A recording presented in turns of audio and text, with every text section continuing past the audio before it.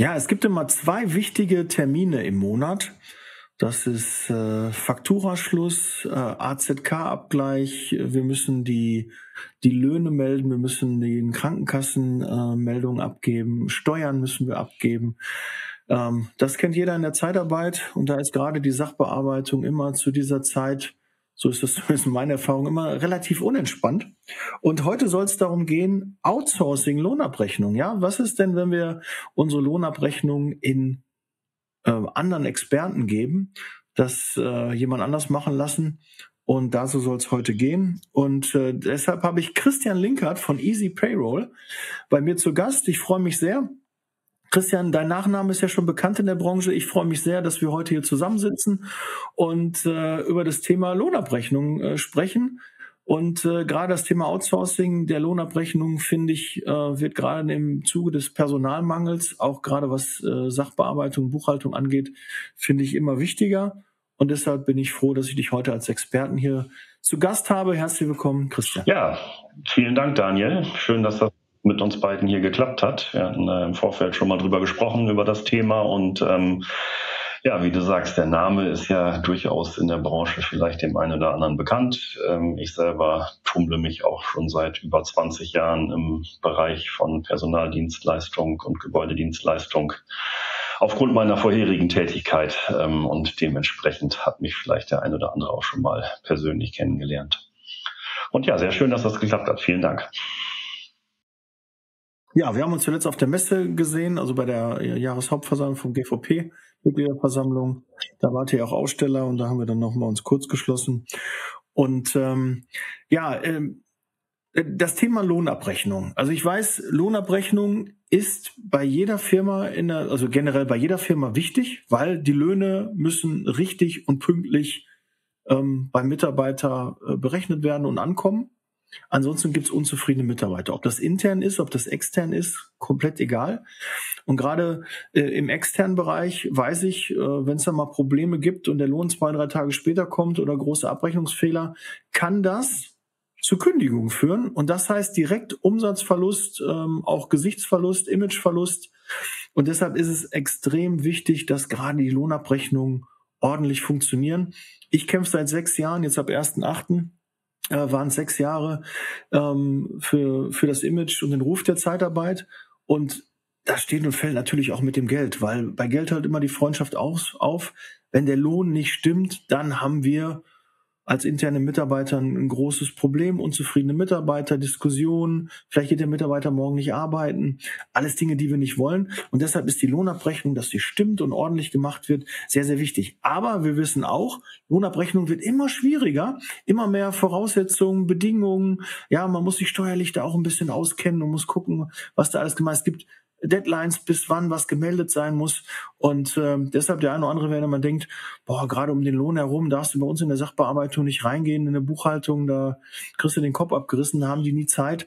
Ähm, wer das vielleicht nicht versteht, dem kann ich sagen, es gibt Abgabetermine und die müssen eingehalten werden. Und wenn das nicht passiert, dann gibt's halt Bußgelder, Strafen und das möchte halt keiner. Und deshalb sind oft dann die Sachbearbeitungen dann nicht äh, ganz so gut drauf, wie das vielleicht sonst über das Jahr oder den Monat der Fall ist. Oder äh, wie nimmst du das äh, wahr, Christian?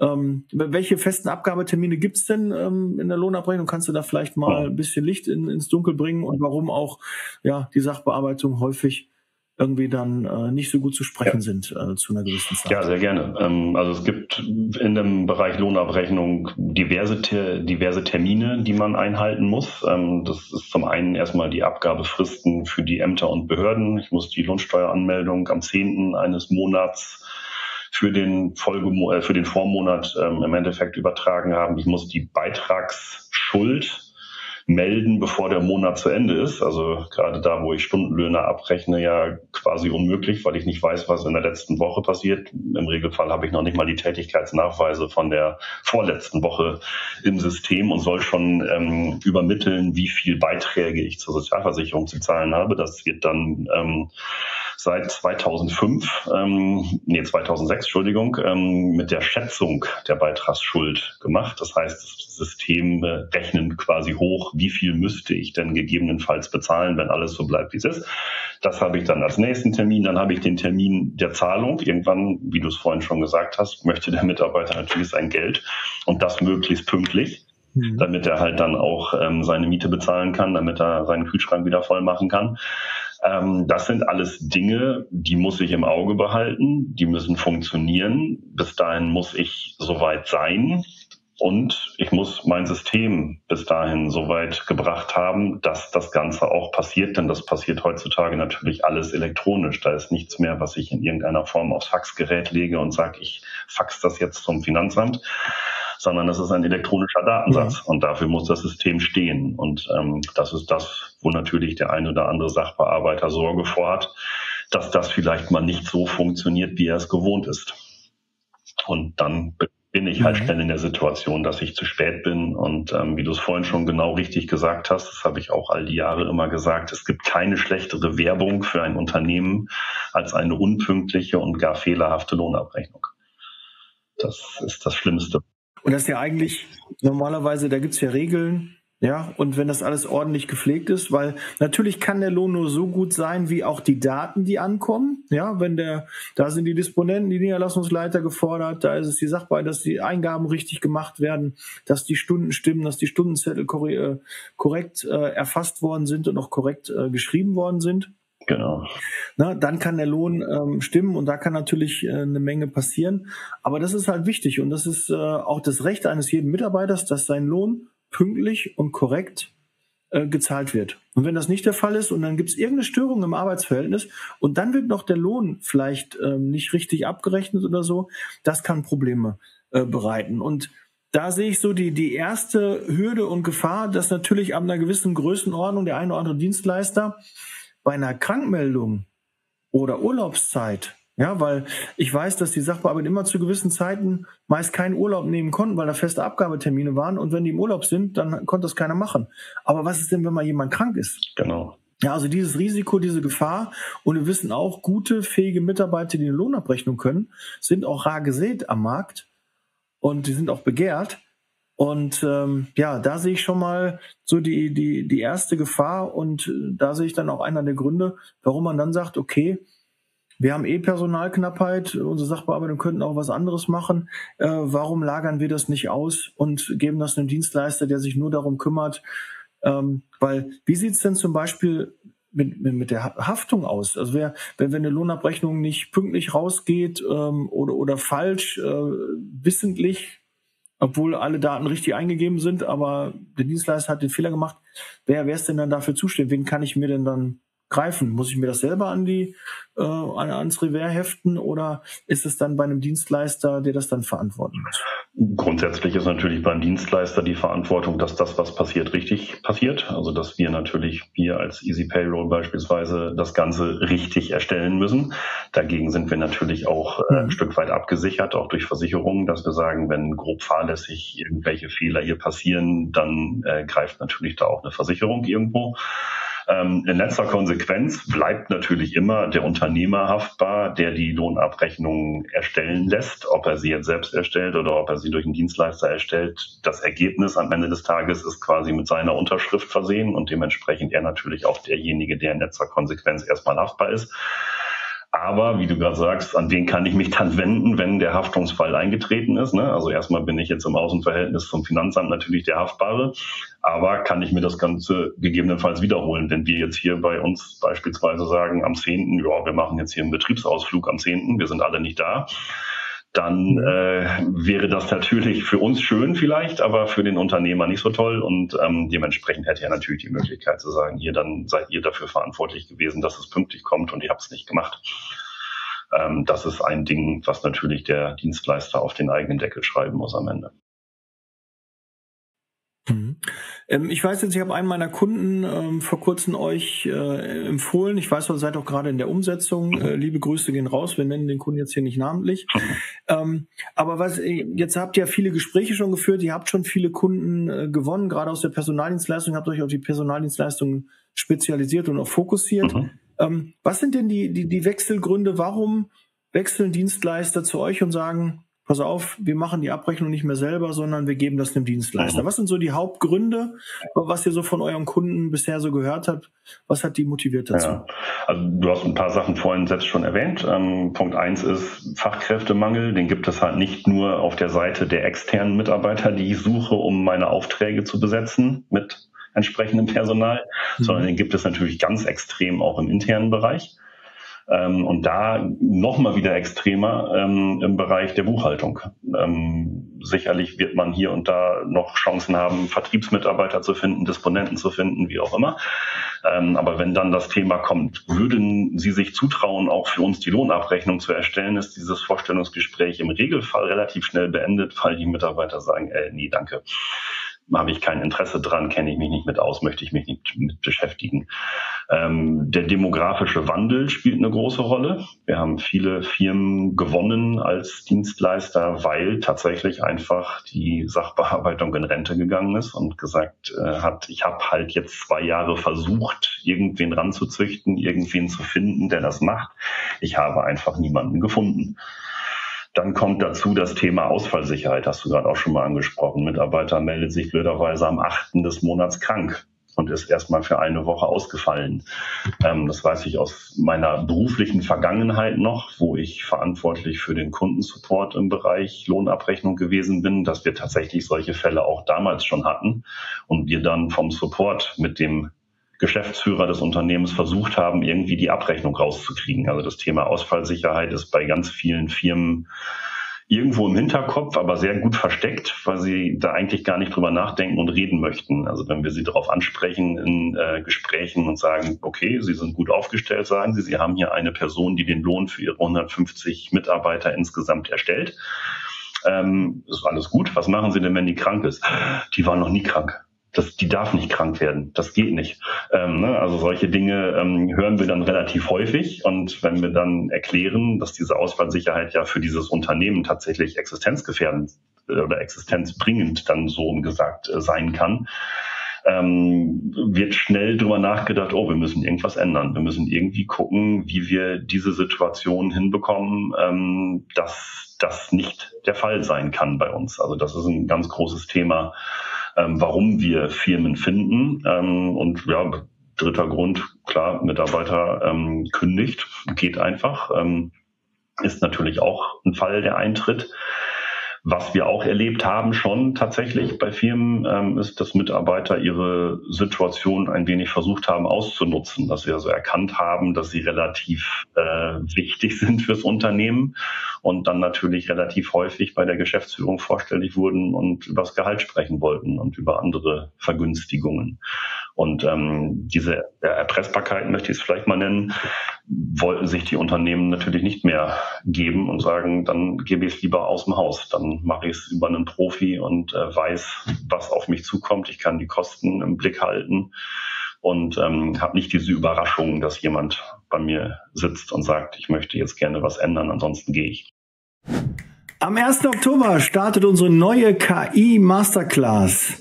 Wir zeigen dir, wie du mit Hilfe von KI deinen Recruiting- und Kundengewinnungsprozess optimierst und revolutionierst. Du erhältst Zugang zu exklusiven Tools und Vorlagen. Sei dabei, melde dich an. Bis gleich. Jetzt denken natürlich, ich damals als Niederlassungsleiter habe ich auch gedacht, okay, Sachbearbeitung, ähm, ich, ich wollte die, die Leistung nicht schmälern, aber so als Niederlassungsleiter habe ich gedacht, okay, das ist Abrechnung, das System gibt's dahinter, da werden Werte gezogen, das ist jetzt nichts, äh, nichts so Schwieriges. Ja, da gibt's äh, Programme dafür, die das machen. Aber ähm, wir merken ja auch dann, ich musste dann schnell auch das Ganze revidieren, dass Zeitarbeit schon eine spezielle Anforderung ist gegenüber einer klassischen Sachbearbeitung in, in einer normalen Firma, wo halt viel auch mit Gehältern vielleicht gearbeitet wird, ähm, wo wir halt Stundenlöhne haben, wo verschiedene aber was ist denn da bei der Zeitarbeit grundsätzlich anders und warum ist, ist gerade die Abrechnung der Zeitarbeit schwieriger, als das vielleicht in, in einem klassischen Unternehmen, wo 9 to 5 gearbeitet mhm. wird, ist? Also es gibt da, glaube ich, zwei große Unterschiede zur klassischen Gehaltsabrechnung, die jeder kennt, die relativ einfach ist. Ich habe meine zwei, drei Lohnarten auf der Abrechnung stehen, Gehalt, VWL-Anteil, Arbeitgeber, vielleicht noch ein Firmenwagen, der verrechnet wird oder ähm, das war es dann mehr oder weniger auch schon. Ich brauche ja nicht mal Urlaub gesondert da entsprechend eintragen. Ich habe nur den Urlaubsstand und das war es mehr oder weniger. Ähm, in der Zeitarbeit ist es extrem, weil es wahnsinnig viele Lohnarten gibt auf der Lohnabrechnung. Wir haben hier teilweise Beispiele, dass äh, 15 bis 20 Lohnarten auf einer Lohnabrechnung stehen von einem Mitarbeiter, weil halt durch bestimmte Zuschläge, durch bestimmte Zulagen, dann gibt es noch eine äh, Fahrtkostenabrechnung mit drei, vier Lohnarten gegebenenfalls, je nachdem, wie viele Monate schon im Einsatz und, und, und. Ähm, es wird einfach wahnsinnig viel. Dazu kommt dann halt diese ganzen spezifischen Dinge, die jetzt aus der Personaldienstleistungstarifvertragsgestaltung kommen. Dann habe ich Equal Payment drauf, dann muss ich das irgendwie mit berücksichtigen. Dann habe ich einen Branchenzuschlag gegebenenfalls und, und, und, und, und ähm, durch die vielen Einsatzwechsel gegebenenfalls auch ganz andere Zulagen nochmal wieder, die mit ganz anderen Stundensätzen bepreist sind. Das heißt, die kann ich halt nicht mischen, die müssen, äh, die muss ich getrennt lassen, die kann ich nicht zusammenführen damit habe ich halt einfach wahnsinnig schnell sehr viele Lohnarten auf der Abrechnung stehen. Das ist erstmal für Leute, die nicht wissen, warum das passiert, auch wenn sie Lohnbuchhalter sind, völlig verwirrend und, und, und äh, kompliziert. Auch Steuerberater winken dann schnell ab und sagen, was passiert da denn? Da habe ich ja jetzt überhaupt keine Ahnung von. Ich kann zwar erklären, wie das Steuerbrutto dann zum, zum Netto nachher irgendwo beiträgt, aber ähm, das war's dann auch. Das ist ein großer Grund. Und ein anderer Grund ist einfach auch die Kurzfristigkeit der gegebenenfalls vorhandenen Arbeitsverhältnisse. Das heißt, das permanente Ein- und Austreten von Mitarbeitern. Je nachdem, in welchem Segment ich mich bewege, habe ich halt oft die Situation, Mitarbeiter ist da, nach drei Wochen ist er schon wieder weg, dann kommt er in fünf Wochen schon wieder, dann ist er wieder weg. Ähm, das heißt, das gesamte Meldewesen, was da ja dranhängt an der Lohnabrechnung, es ist ja nicht nur die Lohnabrechnung. Die Lohnabrechnung ist ja so gesehen relativ einfach, wenn der Bruttolohn steht, weil das die Systeme alle automatisch können. Aber dann kommt das Meldewesen und dann kommen die ganzen Bescheinigungen, die da dranhängen. Und ähm, das ist gerade in der Branche Personaldienstleistung natürlich unheimlich groß und unheimlich viel weil halt diese Fluktuation von Mitarbeitern einfach sehr stark da ist. Ich weiß das auch aus der Vergangenheit, ähm, wenn wir die Prüfung für die Lohnsoftware hatten durch den äh, Sozialversicherungsträger, dass die immer fürchterlich überrascht waren, wie viele SV-Meldungen aus dieser Software entstehen weil ähm, wenn man das dann mit großen Lohnprogrammen verglichen hat, ähm, aus dem Nürnberger Raum beispielsweise, die haben natürlich deutlich mehr User, aber die Anzahl der Sozialversicherungsmeldungen war oftmals relativ gleich, weil einfach so unfassbar viele Meldungen im Sozialversicherungsbereich entstehen. Und das ist, glaube ich, der große Unterschied zu der Branche was es dann halt wieder noch schwieriger macht, jemanden zu finden. Also wir haben es hier auch oft von Kunden gehört, ähm, die dann sagen, ich komme beispielsweise irgendwo aus dem Stuttgarter Raum, wo viel Industrie sitzt, wo viele große Firmen sitzen, wo die dann sagen, wenn wir nach einer Lohnbuchhaltungskraft suchen, ja, wo geht die denn hin? Die geht ja nicht zu uns die geht ja halt zu den großen Automobilherstellern, zu den großen Werkzeugherstellern, die da unten in der Region beheimatet sind, weil einfach da natürlich vielleicht anders bezahlt und ein anderer Schlagunternehmen da ist als die kleine Personaldienstleistungsfirma Mittelstand zwischen 50 und 100 externen Mitarbeitern. Da haben sie es halt sehr, sehr schwer, überhaupt jemanden zu finden. Ja, wo auch viel zu tun ist, ne? wie du gerade schon sagst, die ja. Bewegung natürlich. Ne? Die Standzeiten der Mitarbeiter sind natürlich kürzer, als das jetzt. Wir sind ein Flexibilisierungsinstrument äh, und dementsprechend sind natürlich äh, mehr Ein- und Austritte, als das vielleicht bei anderen Firmen halt üblich wäre. Ja. Ähm, wie, wie, siehst du das, ähm, wenn ich die Aussage sage, Lohnabrechnung blockt auch Führungskräfte? Ich gebe dir vielleicht ein Beispiel dazu. Ähm, in meiner damaligen Firma hat die Prokuristin immer die Lohnabrechnung intern gemacht. Mhm. Und äh, in dieser Zeit konnte man auch nicht mit ihr, mit der Person sprechen, weil sie einfach mit dem Lohn ähm, beschäftigt war und auch andere Dinge mussten hinten anstehen, weil ansonsten der Lohn nicht pünktlich kommt. Mhm. Und äh, wir hatten immer schon Angst, wenn, wenn die Person mal ausfällt, vom Baum fährt oder sonstiges, ähm, kann niemand mehr diese Abrechnung machen. Das waren die internen Löhne. Natürlich wollte man auch nicht, dass andere im, bei den internen Löhnen mit äh, involviert sind, weil ja dann vielleicht die Gehälter dann kennen und können dann nachher selber sagen, oh, der, der Laumann kriegt 5000 Euro und ich kriege meine 3200 Euro nur. Ich möchte da auch mindestens irgendwie was haben. Ja. Solche Gedanken sind ja dann da auch, dass man da nicht so transparent sein möchte, dass man da Angst hat. Ne? Dann weiß ich, dann macht auch der eine oder andere Steuerberater das mal. Aber eigentlich äh, kann man das ja eigentlich auch alles in, in eigene Hände legen, wird auch häufig gemacht. Aber es bindet halt die Führungskräfte. In dieser Zeit können Führungskräfte dann halt nicht ihr, ihren normalen Job machen, wofür sie eigentlich da wären. Ja, das war jetzt gerade auch ein super Beispiel von der Firma, die du vorhin schon erwähnt hast, die über dich den Weg ja. zu uns gefunden hat, praktisch, wo wir jetzt gerade live in der Umstellung ja. stecken. Ähm, der Geschäftsführer hat selber gesagt, wir wollen wachsen. Wir haben auch die Möglichkeit, an das Personal heranzukommen, um wachsen zu können, also mehr Aufträge besetzen, mehr Aufträge annehmen. Aber ich komme überhaupt nicht dazu, dieses Wachstum zu betreiben, weil ich mich permanent um die Lohnabrechnung kümmern muss. Weil ich als Geschäftsführer ständig mit involviert bin, dann funktioniert wieder irgendwas nicht, dann ist wieder jemand krank, dann muss ich da einspringen, hier einspringen, Mädchen für alles. Und ähm, das ist ein ganz großes Thema, gerade was die äh, Bindung von Führungskräften angeht, also die, die, ähm, ja, die, die Festbindung sozusagen an dieses Tagesgeschäft, was eigentlich gar nicht deren Aufgabe ist, aber dieser Führungskraft übertragen wird, weil es halt ein sensibles Thema ist, weil nicht jeder da irgendwie Einblick finden soll in dieses Thema. Und dementsprechend oftmals, wie du sagst, Prokuristen oder leitende Angestellte oder die Geschäftsführung selber die Lohnabrechnungen erstellt nach wie vor. Und ähm, das ist gerade so im mhm. Mittelstandsbereich relativ häufig der Fall und führt halt dazu, dass mein Unternehmen sich nicht so entwickeln kann, wie ich es eigentlich gerne hätte. Ich habe genug Ideen im Kopf, weiterzukommen, mich zu entwickeln, das Unternehmen weiterzubringen, aber ich komme einfach nicht dazu, weil das Tagesgeschäft mich so stark bindet in diesem Bereich Lohnabrechnung, der, wie vorhin gesagt, natürlich auch ein sehr wichtiger Bereich ist, ohne Frage. Aber ich finde keine Person, die mich entlastet, intern. Also mache ich selber und dementsprechend bleiben andere Sachen auf der Strecke. Und, was auch noch, was wir auch noch, glaube ich, noch gar nicht angesprochen haben, ähm, die Sachbearbeitung muss sich auch regelmäßig weiterbilden, weil sich Dinge verändern, da müssen Schulungen passieren. Ähm, auch das ist natürlich wichtig, müssen up to date sein. Du musst alle Änderungen ähm, genau. äh, wissen. Und ich weiß, ich war ja mit dabei, als dann der Branchentarifvertrag eingeführt wurde. Auch das ist eine große Herausforderung. Immer wenn es Gesetzesänderungen gibt, ist es eine große Herausforderung, das dann auch wirklich umzusetzen, intern dann auch zu schulen. Ja, wie sieht's dann in der Urlaubsvertretung aus? Kann derjenige das auch? Ne? Wie sieht's mit der Mehrbelastung aus? Gerade in dieser Zeit ähm, ist es schon echt stressig und diese Verantwortung ähm, und der Druck, der dann auch gemacht wird, ähm, zu Recht, teilweise auch zu, zu Unrecht, aber wenn der Lohn nicht pünktlich, ich habe mich immer aufgeregt, wenn mal der Lohn irgendwas nicht stimmte damit, dann bin ich auf die Barrikaden gegangen und sagte, kann doch nicht wahr sein, wir haben einen ganzen Monat Zeit, uns darum zu kümmern und dann kommt der Lohn irgendwie dann zu spät. Ähm, was macht das, was gibt das für, für einen Ausblick auf, auf die Firma, auf meine Arbeit? Und ähm, da ist man echt sensibel und äh, ja.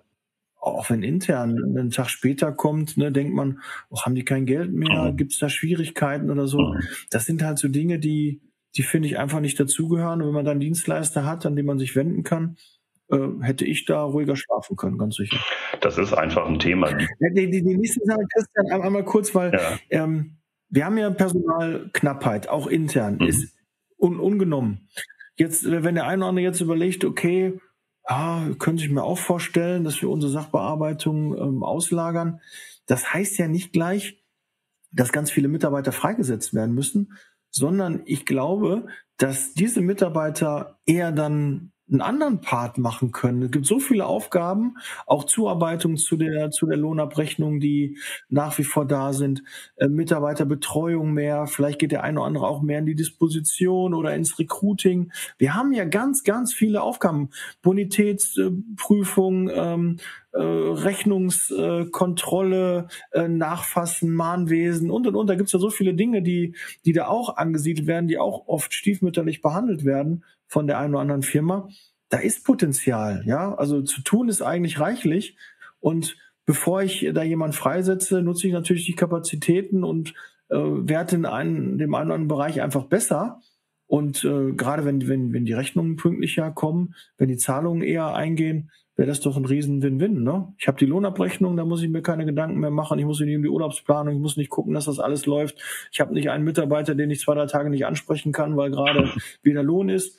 Ja, all diese Dinge. Also ja. ich sehe das schon äh, sehr positiv und dieses erpressbar Natürlich, wenn du da so jemanden hast, der auf dieser Position halt ist und der weiß, er ist eigentlich unentbehrlich, er darf seinen Urlaub dann nicht nehmen, er muss das immer dann drumherum planen um diese festen Termine, ja, dass der dann nochmal sagt, hör mal zu, äh, da will ich für diese Unflexibilität, die ich äh, dann privat habe, dass ich da nicht so flexibel bin, das möchte ich mir halt bezahlen lassen. Mhm. Ne? Und ja, wir wissen das, keiner lässt sich gerne erpressen. Ja, Nein, es ist tatsächlich auch so, wie du sagst. Also ich, ich kann mich an keinen Fall bei uns hier erinnern von den Kunden, die wir jetzt abrechnen dürfen, tatsächlich, dass da jemand äh, durch uns ersetzt wurde im Sinne von, der war noch da, als wir angefangen sind und der wurde dann entlassen. Also das ist tatsächlich nicht passiert. Das ist genau das, was du sagst. Die Firmen gehen hin und sagen, jetzt können wir uns endlich so aufstellen, wie wir uns eigentlich immer aufstellen wollten, weil Frau Müller oder Frau Meier oder Frau Schulze jetzt endlich Zeit hat. Die kann sich jetzt um andere Dinge kümmern. Die hm. kann jetzt ein vernünftiges Recruiting aufbauen. Die kann jetzt ähm, den Vertrieb unterstützen. Die kann jetzt in der Disposition helfen oder wie du sagst, mit den Mitarbeitern intensiver auch mal sich die Zeit nehmen zu sprechen, denen Dinge zu erklären, die ähm, vielleicht sonst einfach so, ja, das müsst ihr mal mal nachlesen, das steht da irgendwo. Ähm, das kann man damit alles schaffen. Das ist ähm, tatsächlich so. Also wenn wir Personal ersetzt haben, war es nur der Fall, weil das Personal schon weg war, weil die schon gekündigt hatten, bevor die Firma sich überhaupt Gedanken über Outsourcing gemacht hatte.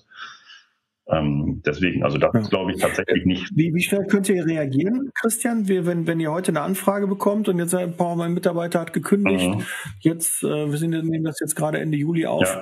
Ja. Ähm, wenn, wenn, wenn, ich sage, keine Ahnung, zum, zum 1.9. bräuchte ich Unterstützung, das wie schnell kriegt ihr das hin? Ein, zwei Monate wir alles vor? Nein, das kriegen wir alles deutlich schneller hin. Der Vorteil ist, ähm, das gesamte Team besteht ja ausschließlich aus Leuten, die aus diesen Bereichen stammen, also die ganz viel Erfahrung mitbringen im Bereich Personaldienstleistung, natürlich auch in äh, vielen Softwarebereichen sehr viel Erfahrung mitbringen. Das heißt, ähm, wenn die Firma sich meldet, wir haben jetzt gestern tatsächlich einen Fall gehabt, wo äh, ernsthafte Auftragsabsichten äh, signalisiert wurden, sage ich jetzt mal, ähm, die sollen wir jetzt schon abrechnen. Also für die sollen wir jetzt schon den Juli erstellen, den wir in, heute ist der 30. in drei oder vier Tagen sehr wahrscheinlich die Abrechnungen starten. Das wird sportlich, aber mhm. ähm, das Team ist motiviert und gerade solche Sachen ähm, machen wir dann gerne mal einfach, weil es mal wieder eine Herausforderung ist, zu sagen, wir, wir haben jetzt hier nicht langen Vorlauf gehabt. Und oftmals ist es tatsächlich bei uns bisher so gewesen, dass viele Firmen sich relativ spontan gemeldet haben, weil halt Krankheit, Kündigung, sonstige Themen gekommen sind, die halt sehr schnelle Reaktionen erwartet haben und erfordert haben. Und ähm, wenn wir jetzt so ein Projekt, was du vorhin angesprochen hattest, haben, wo ein Softwarewechsel mit einhergeht, dann braucht man halt ein bisschen länger. Aber auch der Fall war jetzt so, dass wir jetzt äh, nach vier Wochen soweit sind und die erste Abrechnung jetzt in der nächsten Woche starten werden. Also das ging dann auch relativ schnell. Und ähm, das ist auch was, was mir wichtig ist, dass wir jetzt nicht äh, jemanden haben, der sich hier meldet und sagt, ich hätte da Interesse dran. Ja, wir können da vielleicht im Dezember drüber sprechen. Ähm, da bin ich der Meinung, das muss schnell gehen, weil es halt, wie eingangs gesagt, ein unfassbar wichtiges Thema ist. Und man nicht einfach sagen kann, ja, das können wir erstmal drei Monate irgendwie überbrücken und irgendwie anders machen, sondern dann muss es sofort losgehen das ist halt auch so dieses Ding. Wir haben auch Firmen gehabt, wo wir nur den Feuerwehreinsatz gemacht haben. Also wo wir gesagt haben, da ist jetzt jemand krank. Wir unterstützen euch jetzt für einen Monat oder für zwei Monate und dann ist das Thema auch schon wieder erledigt. Dann ähm, macht ihr es wieder alleine, weil dann die Person wieder da ist. Ähm, dann haben wir es auch direkt übernommen und sofort gesagt, komm, wir machen Vollgas. Das Einzige, was immer ein bisschen länger dauert. Okay, also das ist auch möglich. Das wäre auch eine meiner Fragen. Da habe ich mich gar nicht getraut, die zu stellen, weil das natürlich auch sehr viel Aufwand ja. ist. Und äh, wenn das dann nur eine kurze Zeit ist, ähm, genau. Ja, das hätte ich gedacht, dass er einfach sagt, nee, pauschal, das machen wir nicht. Aber wenn das auch möglich ist, äh, natürlich ja. super. Ne? Wenn man gerade so einen Super-GAU hat, genau. Mitarbeiter hat gekündigt und das und geht in Urlaub ja. oder bricht sich einen Arm oder muss ins Krankenhaus für eine Zeit. Sind ja ne? ja. dann äh, will man da sicher auch äh, gut aufgestellt. Ähm, ja, dann, dann, muss es schnell gehen. Also so, das äh, kann man halt nicht verschieben, das ganze Thema. Auch den, den Know-how-Transfer finde find ich da wichtig, weil man mit euch ja Experten dann an der Hand hat, mhm. dass man auch wirklich dann fachsimpeln kann, auch weiß, okay, wie wird das richtig äh, gemacht, weil manchmal ähm, ist man ja auch unsicher bei dem Lohn. Und die Sachbearbeitung erzählt einem was und man selbst als Führungskraft, Geschäftsführer sagt dann, ja, ist das denn wirklich so? Wie machen das andere? Und äh, bei euch hat man ja jemanden, der weiß, so machen das auch andere, so machen wir das, so ist das auch richtig, so gehört sich das, weil natürlich viele Prüfungen auch der BA kommen, die, die natürlich dann auch da, da, hinschauen.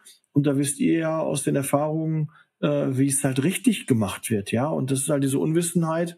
Ich habe immer das Gefühl gehabt, wir zahlen den Mitarbeiter immer mehr, als wir eigentlich müssen, und andere Branchenkollegen haben viel, viel weniger bezahlt. Mhm. Ähm, nicht, dass ich meine Mitarbeiter immer schlechter bezahlen wollte, aber wenn ich in, in Richtung A und B gehen kann und es wirklich A wäre okay und B wäre okay, warum muss ich dann immer das nehmen, wo auf jeden Fall der Mitarbeiter äh, wesentlich besser gestellt wird. Wo gibt es denn auch mal die Möglichkeit, dass wir auch, gerade weil der Verrechnungssatz immer unter Druck ist, wo wir auch dann unsere Kalkulation mal besser machen können. Ne? Mhm. Ne? Also man also nicht immer nur sagt, okay, immer pro Mitarbeiter, sondern auch mal guckt, okay, was macht der Markt, was ist denn marktüblich, weil wir haben das ja jetzt in der Pflege gemerkt, Mitarbeiter wollen immer mehr, mehr, mehr, mehr und wir kriegen es auf einmal Markt nicht mehr so realisiert, mhm. wie das vielleicht vor äh, zwei, drei Jahren ja. noch war. Also das sind auch Dinge, ähm, wo ich dann auch sage, okay, was gibt's für Möglichkeiten? Und da äh, bin ich mir sicher, haben wir mit euch einen Experten an der Hand, wo man auch sagen kann, okay, das könnt ihr so machen, das könnt ihr so machen und das machen auch viele so, das ist üblich, ähm, das ist auch vollkommen in Ordnung, das geht auch bei der BA durch. So ist das, so muss das auch abgerechnet werden, dass man einfach auf sicheren Seite ist, dass man einfach ruhiger schlafen kann. Also, und dieses ruhig schlafen, war mir noch nie so wichtig, äh, seitdem ich mal die, die Schuhe auch des Geschäftsführers äh, anhatte, dass ich einfach mal sehe, okay, äh, welche Verantwortung hast du denn mhm. auch? Ne? Mhm. Das ist ja als Disponent, als, als Niederlassungsleiter oder auch Regionalleiter nicht so bewusst, ja. Aber wenn du dann wirklich am Ende äh, der Nahrungskette dann noch stehst und wirklich am Ende den Kopf dann auch dafür hinhältst, dann äh, muss das halt auch äh, funktionieren. Und da brauche ich Experten an meiner Seite, die mir sagen, okay, so macht ihr das und so ist das so richtig und so hält das auch stand. Mhm. Und dann wird das so gemacht und dann ist gut und dann kann ich, äh, kann ich mich beruhigt äh, in den Stuhl zurücklehnen und kann sagen, hier, das machen, äh, macht Easy Payroll das ist tatsächlich gelebte Praxis bei uns. Ne? Das, das wird häufig gefragt. Also ne, dadurch, dass wir viele andere Firmen abrechnen, dass genau diese Fragen gestellt werden. Ich habe jetzt diese Herausforderung, das haben wir jetzt zum ersten Mal im Unternehmen. Es gibt uns erst seit fünf Jahren und wir haben jetzt das erste Mal sowas.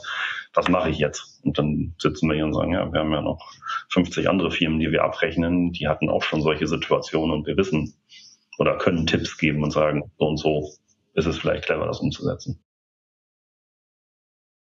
Ja, weil manche Dinge, also du denkst, jede Woche in der Zeitarbeit ist anders. Und dann kommt auf einmal irgendjemand, äh, der langzeitkrank, dann schwanger, sonst wie, wie was mache ich jetzt, Kündigung in dem Bereich oder äh, gibt, gibt so viele äh, Dinge, die, die man eher selten hat und dann sind die auf einmal da und dann ist man überfordert. Und äh, ja, wenn du einen Dienstleister hast, dann, dann soll der sich darum kümmern. Ne? Da würde ich auch ganz entspannt sein und sagen, hier, ja. ähm, wie machen wir das? Genau. Ne? Das ist äh, da wichtig.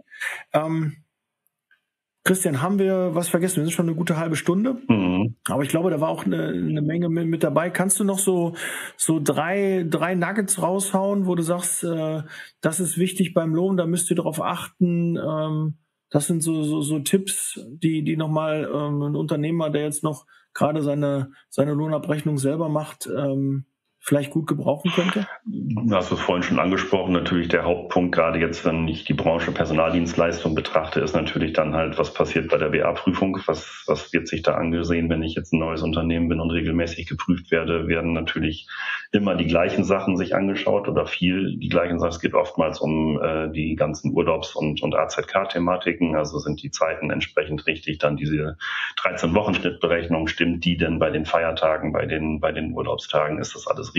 Bei Krankheit gelaufen? Das sind so Dinge, ähm, dann muss man tatsächlich, das wurde vorhin auch schon von dir gesagt, bereit sein, wenn ich Lohnabrechnungen erstellen kann und möchte, mich weiterzubilden. Ich muss permanent am Ball bleiben. Es gibt gerade im Lohn immer wieder Gesetzesänderungen. Es gibt, glaube ich, keinen Bereich, der einen solch hohen Komplexitätsgrad hat wie die Erstellung von Lohnabrechnungen in Deutschland. Die Deutschen sind nun mal auch dafür bekannt, dass wir gerne alles auf die Spitze treiben und alles hier und da mal verkomplizieren. Ähm, dann gibt es ein neues Verfahren hier, dann gibt es ein neues Verfahren da. Jetzt ist das letzte große, was eingeführt wurde, war dieses EAU-Verfahren für die elektronischen Arbeitsunfähigkeitsbescheinigungen. Damit muss ich mich beschäftigen, wenn ich denn Lohnabrechner bin, weil sonst wird es nicht funktionieren. Und ähm, ja, davor muss man einfach äh, nicht zurückschrecken und natürlich dann auch bereit sein zu investieren, wenn ich es denn selbst machen möchte. Viel kann uns Software heutzutage abnehmen. Das ist Gott sei Dank so, dass da viel passiert ist. Aber leider ist auf der anderen Seite auch immer irgendwie ein Empfänger von all dem, was ich getan habe. Und ähm, da stellt sich halt auch häufig heraus, dass nicht unbedingt auf der anderen Seite das geballte Fachwissen sitzt, was man vielleicht erwartet. Ähm, und da Sachen kommen, die einfach nicht stimmen, die einfach nicht richtig sind, aber die gefordert werden. Und da muss ich natürlich auch die Möglichkeit haben, denen ein bisschen den Wind aus den Segeln zu nehmen und zu sagen, sorry, so eine Meldung gibt es nicht, die kann ich Ihnen nicht schicken, die hat der Gesetzgeber nicht vorgesehen an der Stelle. Kann ich halt nur, wenn ich am Ball bin, wenn ich weiß, wovon ich spreche.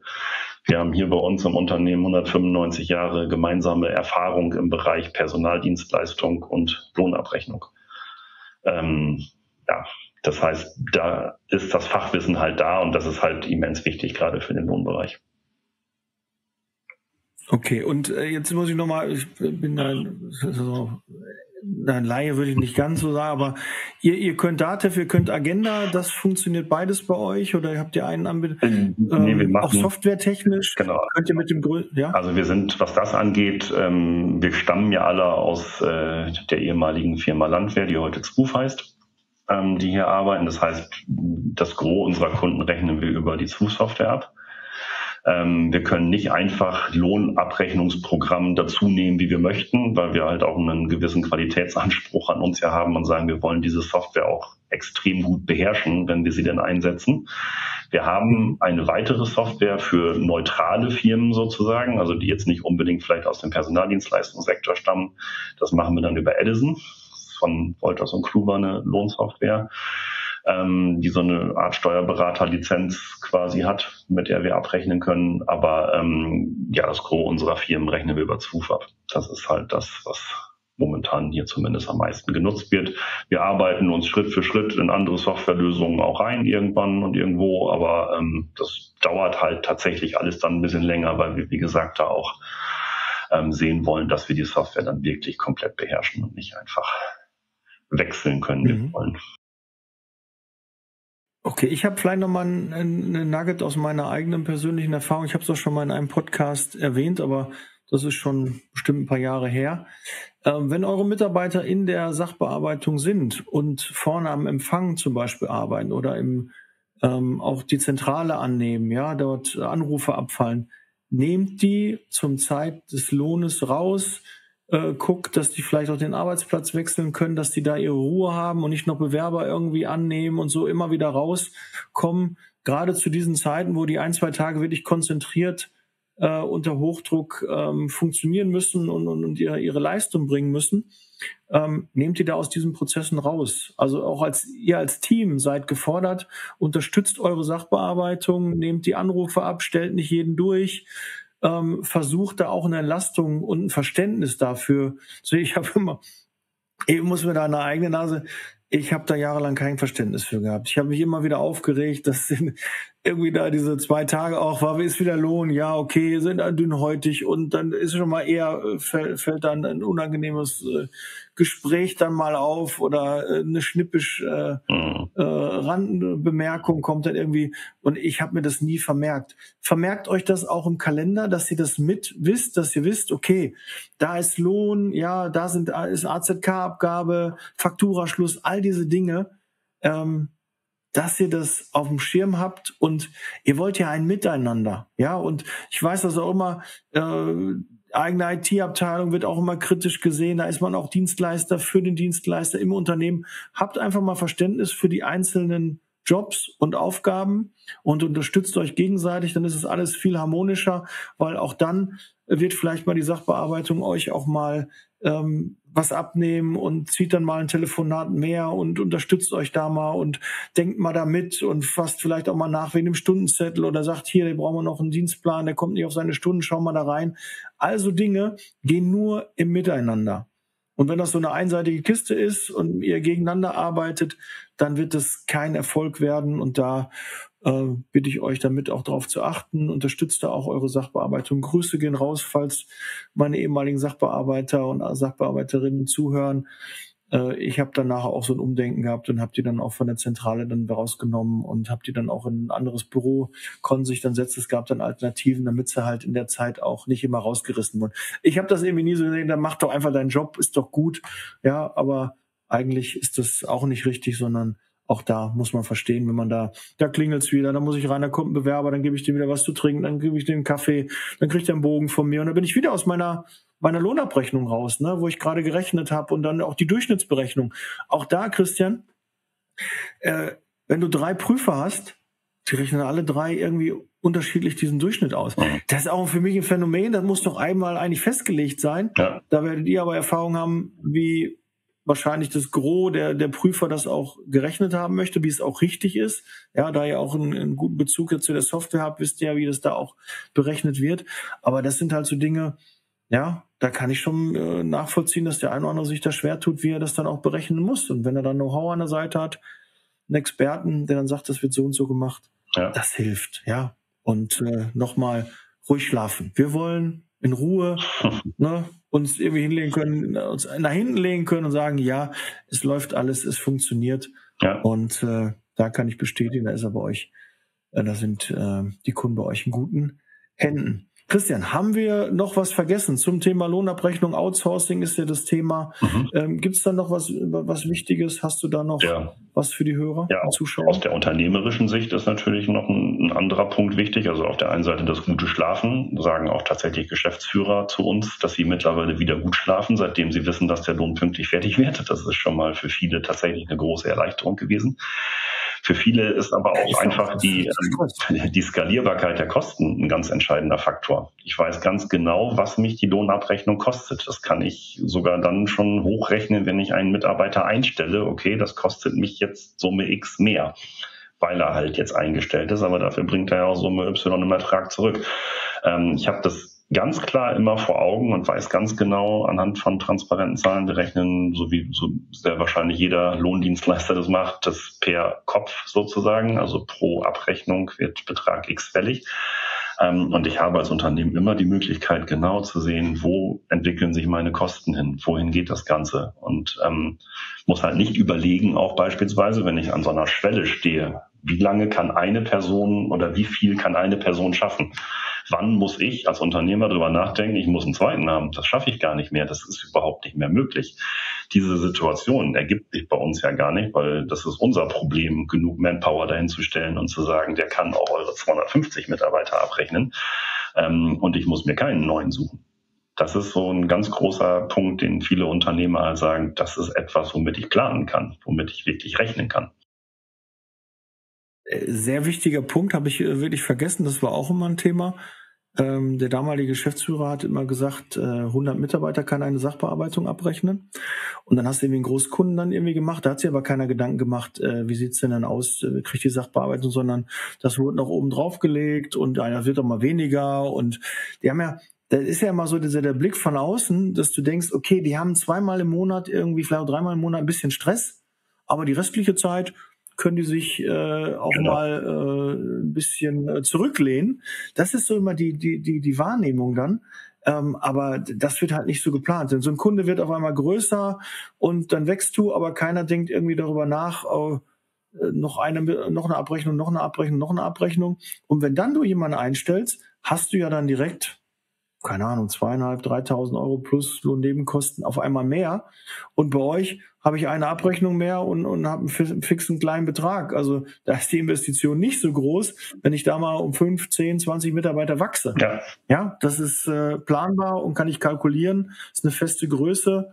Ähm, das, äh, da sagst du was Wahres, das natürlich auch.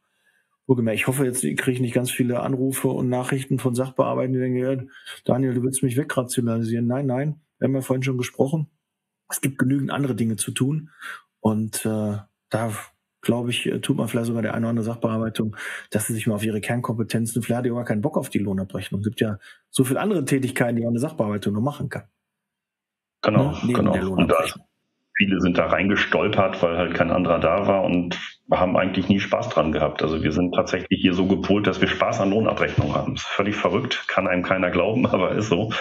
Äh, wir machen das tatsächlich gerne, weil wir es halt schon seit 20 Jahren machen und irgendwie Erfahrung haben. Und ja das Thema ja auch spannend ist. Also es ist ja wirklich ähm, durch die ganze Dynamik, die da drin ist, was Änderungen angeht, ist es halt auch immer eine neue Herausforderung wenn ich an die Corona-Zeit zurückdenke, was da alles passiert ist im Rahmen von Lohnabrechnungen, das war schon völlig verrückt. Also das, ähm, aber auch das ist halt eine Herausforderung. Auch das Thema Kurzarbeit. Ich weiß, dass als Kurzarbeit auf einmal dann äh, ein Thema war. Auch das heißt wieder anders abrechnen, die Anforderungen, die Meldungen und so. Wo willst du das Know-how? Du musst dann gucken, wie du dir schnell das Know-how aneignest. Ihr müsst euch das einmal aneignen und habt es dann für 50 Kunden dann gleichzeitig verfügbar oder 100 Kunden dann zu dem Zeitpunkt. Äh, das ist natürlich was, was, was, was ja. ganz anderes. Ne? Ja, ja da kann man kaum okay. halten. Christian, wir sind, ja, ja. Wir, wir, kommen zum, zum Ende des Podcasts. Mhm. Dir gehört äh, dem Gast das letzte Wort. ähm, was ist noch wichtig zu erwähnen? Wie kann man dich erreichen? Wie, wenn, wenn man Interesse hat, gibt es so ein ähm, Kennenlerngespräch? Mhm. Ist es vielleicht, wenn das speziell über Liebe Zeitarbeit kommt, kostenlos? Ähm, kannst du da vielleicht noch mal was zu sagen? Ja, also das, das ähm, erstmal vielen Dank, Daniel, dass das hier funktioniert hat heute, dass äh, wir diesen Podcast hier zusammen machen konnten. Ähm, grundsätzlich ist es so erreichbar über alle bekannten Kanäle, die es so gibt. Telefon, Internet, äh, LinkedIn, ähm, Xing machen wir jetzt nicht mehr wirklich viel, weil das irgendwie nicht mehr so glaube ich, gebraucht wird für solche Themen, aber Instagram, Facebook und, und, und, Telefon, ähm, Handy, E-Mail. Ähm, was wir generell machen, das haben wir schon bei sehr vielen Kunden gemacht, da wir ähm, grenzenlos von uns selbst überzeugt sind sozusagen, bieten wir Firmen auch gerne kostenlose Analysetermine an und sagen, okay, melden Sie sich bei uns, wir sprechen miteinander, wir gucken uns mal Ihr System an, weil viele sagen halt immer, ist alles total super, läuft total klasse bei uns, wir haben überhaupt keine Probleme. Und wenn dann die Profis da reingucken, ist dann eher so, hm, oh, das wusste ich gar nicht. Ha. Ähm, also das bieten wir grundsätzlich unseren Kunden gerne an, dass wir sagen, wir können gerne mal so einen 45-Minuten-Termin machen, wo wir einfach mal in das System reinschauen, per Teamviewer uns draufschalten und gucken, wie das Ganze so aussieht. Oftmals ist es dann so, dass hinterher das böse Erwachen kommt und gesagt wird, ah, hätte ich euch mal eher angerufen. Ähm, machen wir alles. Ähm, und ja, so bieten wir unseren Kunden das an. Wir bieten auch vielen Firmen, die am Anfang sehr skeptisch sind, ähm, an, dass wir ähm, kurze Vertragslaufzeiten zu Start machen. Dass wir einfach sagen, testen Sie uns aus. Machen wir drei Monate für Sie die Lohnabrechnung und dann sprechen wir wieder miteinander ähm, um vielen die Scheu davon zu nehmen. Also manche Firmen können sich nicht vorstellen, wie sowas funktioniert. Also wie ein externer für mich in diesem sensiblen Bereich Lohnabrechnung unterwegs ist. Das braucht einen Moment. Manchmal liegt es vielleicht auch ein bisschen daran, dass es halt technisch virtuell sozusagen ja stattfindet, wir ja hier aus der Ferne ähm, dann uns irgendwo draufhalten. Ähm, das führt manchmal dazu, dass es ein bisschen braucht. Aber auch da gehen wir einfach hin und sagen, ja, wir wissen, was wir können und wir zeigen Ihnen gerne drei Monate, was wir können und danach werden Sie glücklich sein und sagen, ich möchte nie wieder, dass ihr damit aufhört. Ähm, das ist so das Ding, was wir da anbieten können. Klingt plausibel. Ja, hat ist auch mein Erfahrungswert, den ich da habe. Genau. Ich habe ja einige in der Beratung, die ähm, bei euch oder auch, mhm. gibt ja auch noch ein, ein, zwei andere Marktbegleiter, mhm. aber ähm, die damit total happy sind und es gut funktioniert und die auch nie wieder zurück möchten, weil es natürlich eine Sicherheit auch gibt, ja. Das ist also das Thema Sicherheit, dass ich weiß, dass das ähm, läuft, ja, weil es hat mich so gestresst. Ich habe als Geschäftsführer ja auch die Löhne selber gemacht. Das ist, ist einfach Stress. Du weißt, es muss punktgenau sein und du hast dann irgendwie den Schreibtisch voll Arbeit, du musst das eigentlich noch machen und dann kommt noch der Lohn dazu und du weißt, der hat eigentlich Priorität. Und dann müssen alle anderen Dinge, aber die eigentlich auch priorisiert werden müssen, aber Lohn ist halt nun mal fest, fester Zeitpunkt, wann das gemacht werden muss. Und das ist ja, sind wir mal ehrlich, nicht die Aufgabe eines Prokuristen oder Geschäftsführers oder einer des Key Accounters oder wer doch immer der diese Aufgabe dann bekommt, äh, das zu machen. Ja, und was denn, wenn man mal selber krank ist oder man nicht kann oder im Urlaub ist, will man sich dann noch hinsetzen irgendwie am Pool und will dann noch die Abrechnung machen? Ich bitte dich. Mhm. Okay. Christian, ja. jetzt sind wir doch fast 50 Minuten geworden, aber ich fand es sehr kurzweilig. Okay. Ich finde es super. Da sind eine Menge Sachen dabei, wo mir dann wieder einfällt, oh ja, das stimmt, früher, das war und das muss man auch bedenken. Und ich ja. äh, wünsche euch ganz, ganz viele Anfragen. Fragt gern beim, beim Christian und seinem Team an, äh, genau. ob er euch unterstützen kann. Ich kann es auf jeden Fall wärmstens nur empfehlen. Und äh, freue mich, wir werden sicherlich nochmal noch einen weiteren Podcast machen zu, mhm. zu anderen Themen, was wir dann noch so an, an, an Nuggets teilen können, an Erfahrungen teilen können, ja. dass ihr ähm, davon auch profitiert. In diesem Sinne, Christian, vielen Dank. Ich danke. Hat mich auch sehr gefreut. Wir hören und sehen uns im nächsten Podcast. Bereit für Zeitarbeit. Wir sind raus. Liebe Grüße. Bis bald. Ciao. Danke. Tschüss. Der Podcast wurde unterstützt von HR4U, ihrer HR-Software.